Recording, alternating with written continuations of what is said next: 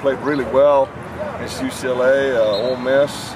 You know, they've had some pretty good people they played against and, and played well against them. So, yeah, I think Ole Miss was 24 to three, and UCLA was a seven-point, eight-point ball game right in there. So, they're a good football team. They've always had a lot of talent there, and uh, I think uh, they've got them playing now. So, what's the difference between this year's version and what you've seen the last couple of years? I, I think you know that quarterback's a second-year guy. Uh, he kind of makes that offense go. I've always felt like they had great skill kids, and uh, they're playing good defense this year, and that makes a big difference for them too. So uh, I think the main difference is that quarterback though right now. Defensively, what are the biggest improvements you want to make coming into this game?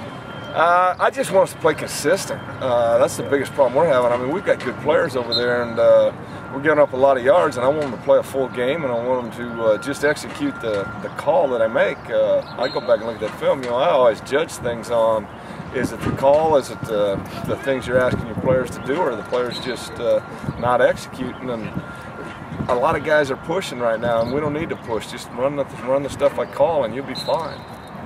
I mean, you're trying to get guys in position to make the play. I guess they're taking themselves out of position, like trying to do.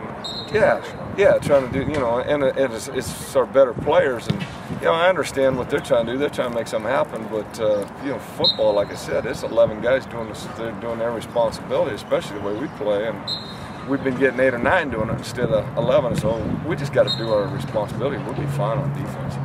How are you stressing just how important it is to execute offense?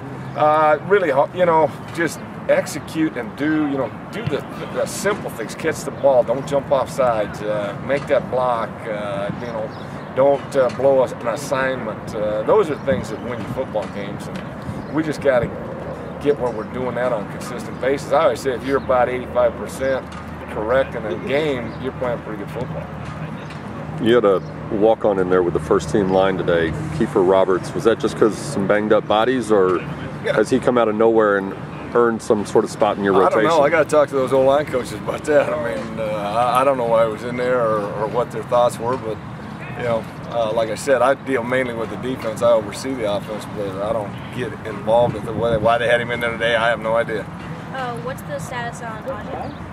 Uh, day to day right now. Uh, he had a concussion, and uh, you know you don't push those things. And we're just waiting to see if he can pass that next test, and, and hopefully he can, and we'll have him by Saturday. But uh, right now, I'd say it's probably doubtful. What about K.C.?